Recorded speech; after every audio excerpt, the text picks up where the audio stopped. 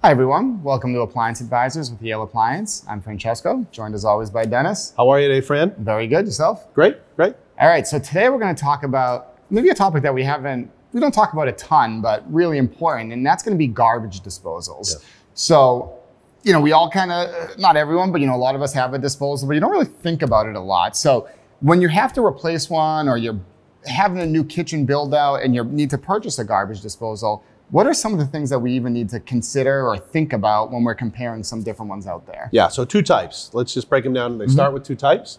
There's what's called batch feed and continuous disposals. Batch feed, think about it like this. You basically, to keep it basic, take the plunger, a metal top, stick it into the sink, twist that cover, and that's what engages the disposal to make mm-hmm. it work. That's one. That's called batch feed. Yeah. The next one is continuous, which is a, some type of a switch, a wall switch. Could Be another type of switch I'll talk to in a second, but some it basically needs a switch to flip it off and on. Those are the two main first thing you think about. Secondly, from there we would think about um, power and RPMs. Generally speaking, the more RPMs or spin speed, the better the warranty to the disposal because Okay. that is what when a when a disposal binds and it's not strong enough to break through that protein a lot of times Yeah. or those bigger uh, bits of scraps it binds and it wears it out, right? Just like a motor that's running Mm-hmm. harder. Um, so the stronger, the, the more it pulverizes, the faster it gets through it.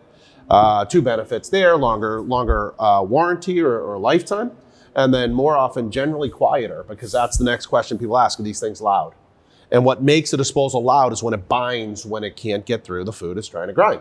So I would always recommend do the bigger RPM if you have that opportunity.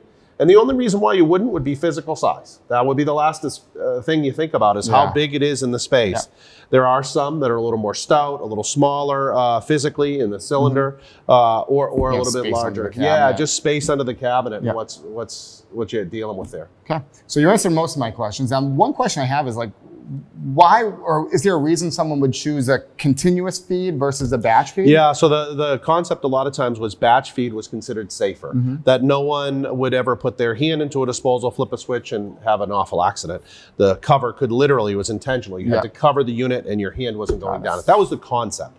The, the pros and cons of that is that type. Um, keeping it simple, again, is you really are sticking your hand in, in all the stuff. Yeah. In dirty Yeah, stuff to get true. it to turn on. That's not the best experience.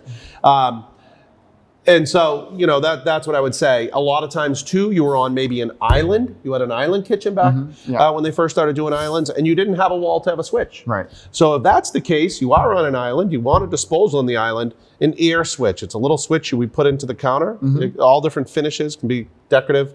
Press that air switch, gulp of air goes under, toggles and turns your disposer on underneath, and off you run. So batch feed really was a thing we did in the 70s and 80s. Yeah. You still sell them, but it's it's a hundred to one that you do more of this continuous type. Yeah, they're almost more replacements at this point. Better too, and- warranties, yeah. a little less expensive, you know, that type of thing. Awesome. All right. So I think that's everything on garbage disposals.